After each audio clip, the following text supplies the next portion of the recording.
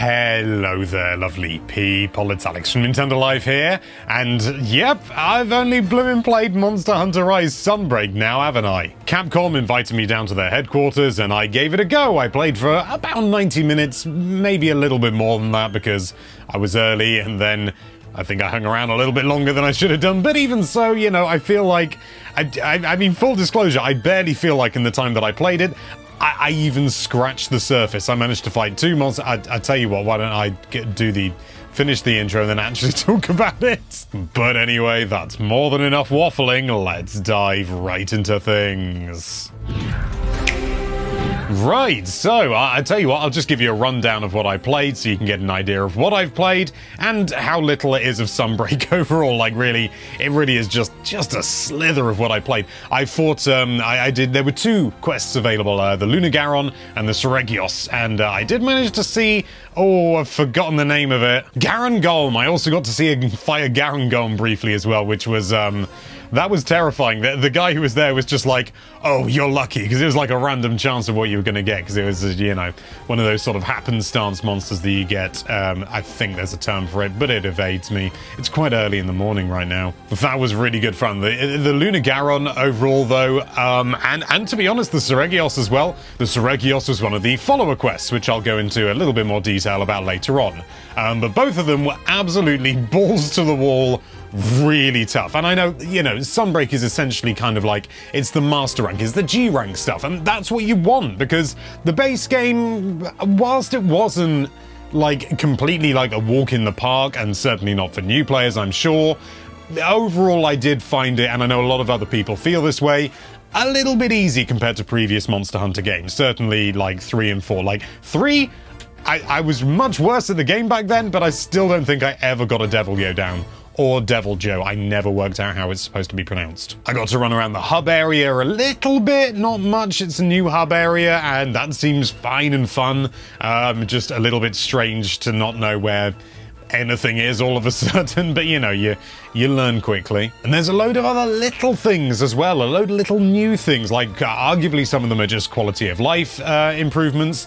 Uh, things like it actually shows you some of the moves you can do on screen at all times. I'm, I'm pretty, I'm like 99% certain you can turn that off because I, I, found it marginally distracting, but I wanted to keep it on because it sort of felt like, well, this is part of the the new thing, and I wanted to keep it all in the footage.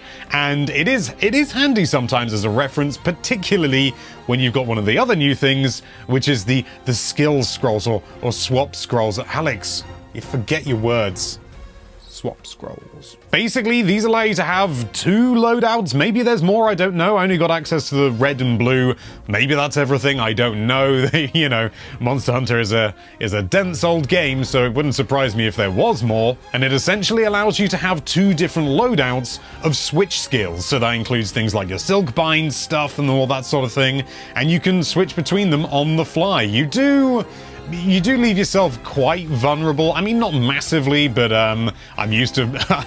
I often use a hunting horn and a heavy bowgun, so I'm used to leaving myself vulnerable. But there have been times when I've thought to myself, oh, I could really do with a different silk bind attack or something like that. So this is brilliant. It's a, it's a great way to sort of open things up.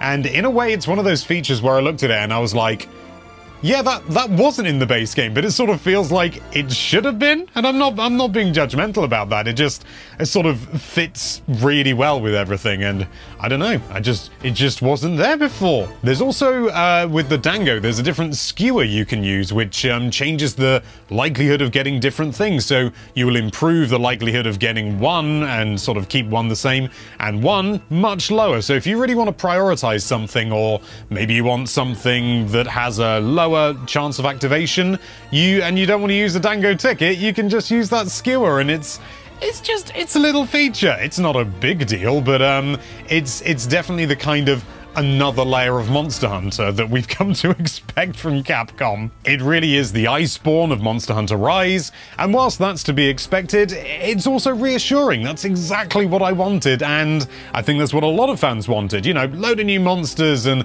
load of new quality of life improvements. It doesn't just feel like a big DLC package, it feels like an upgrade to the base game as well, kind of like an ultimate version, you know, as they've done in the past, and often that's been the only version we've had in the West. But let's talk a little bit more about the monsters. So the Lunagaron quest that I did, um, as I said, I got a Garangolm.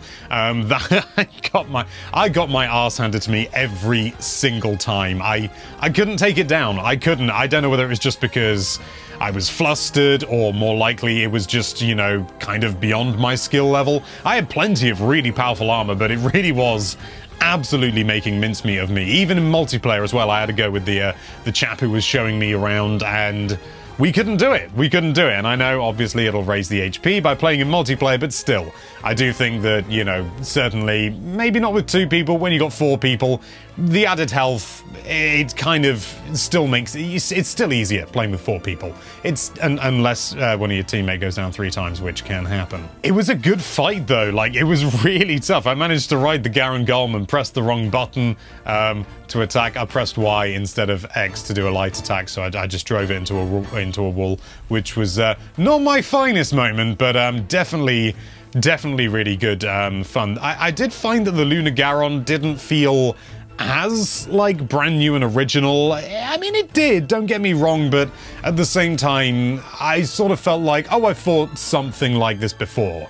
But the Garangolm, again, you know, it's it's still a beast, you know, monster. It's not anything, whoa, out of this world or anything like that, but it, it definitely felt more different. I'm much more excited about fighting the Garangolm um, than the Lunagaron. But then we have the Seregios as well, the quest that I did that in, and that was... Um, that was a follower quest, which means you go around with an NPC, and um, that was good fun. I, in a way, I didn't really feel like the NPC was there, but then I do play a lot online, you know, sort of with friends and things, and often with randoms. And so seeing another uh, a hunter there didn't really sort of like go, oh wow, this is a really original and different uh, experience. It felt very much the same, to be honest. I I mean, you did get some. You did get some different interactions. There were some things. Um, the Seregios has this move where it basically flies up in the air and it just swoops down, and it is brutally hard to avoid when you don't expect it. I kind of got the hang of it, and I was actually able to take the Seregios down, which I was really pleased with. Um, but it did help that um, Arlow was saying, he, he had a cue every time it happened. He was like, watch out, or something like that. And uh, then it would swoop down and it would do its uh, big thing, and that thing is like it, took off a huge chunk of your health. Big wind up, it's obvious when it's going to happen, um, but if you're in a disadvantaged position, you know, you've been knocked down or you're paralyzed or dazed or something, uh, you can easily die and I, I did. But yeah, whilst I wouldn't say I was disappointed by the follower quests, I was expecting it to be a bit more different compared to a standard hunt.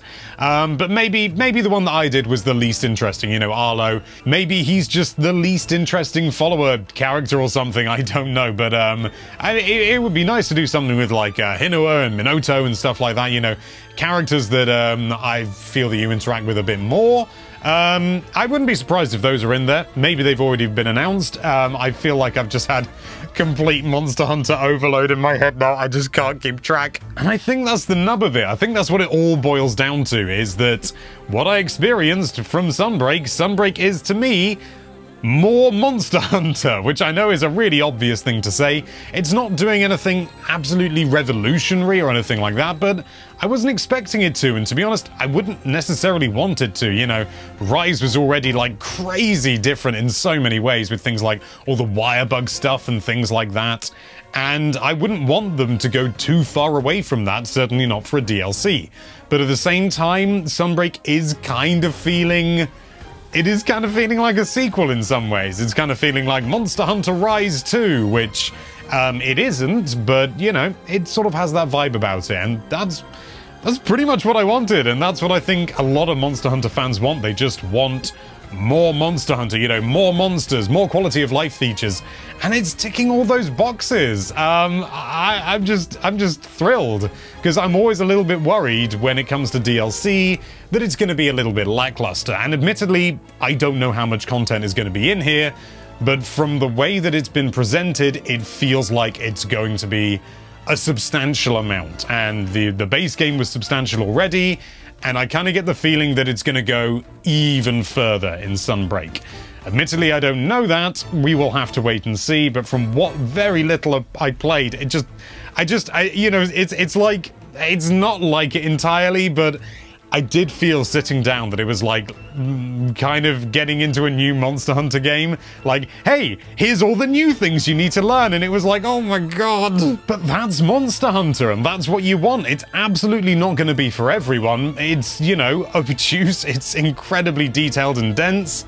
But that's, you know, that's what Monster Hunter is, and I think they drifted a little bit too far away from that in World, and Rise is the nice balance, you know, making it modern and accessible, but still intrinsically Monster Hunter. And I believe we're getting a continuation of that with Sunbreak. So, I'm excited. And there you have it. That's our very, very small look at Monster Hunter Sunbreak. Like, seriously, after I stepped away, I was just, I felt overwhelmed. And looking back on it now, I feel like, is that really, did I really only do two quests? And yeah, I did. But what do you think? Do you like the look of it? Do you think it's exciting? Let us know with a comment down below. Thank you so much for watching. If you like this video, then why don't you change from that not subscribed swap scroll to the subscribed swap scroll?